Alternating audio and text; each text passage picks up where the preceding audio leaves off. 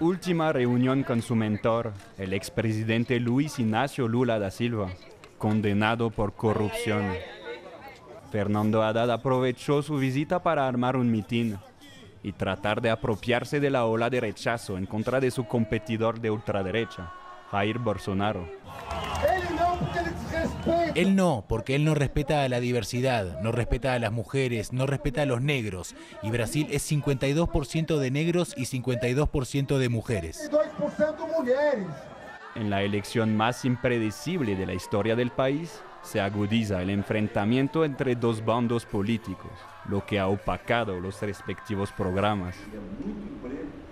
A raíz de la penúltima confrontación en televisión, los otros contrincantes trataron de distinguirse de este duelo.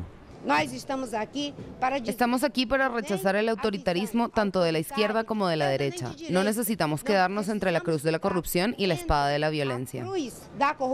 y la espada de la violencia.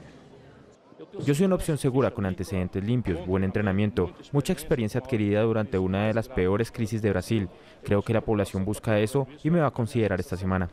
En un informe remitido a los candidatos, el Banco Mundial priorizó tres desafíos para el próximo presidente.